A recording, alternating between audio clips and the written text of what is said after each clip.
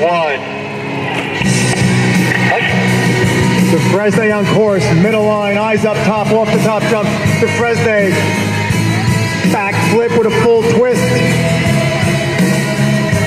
Here comes Dufresne trying to keep it together now, middle line.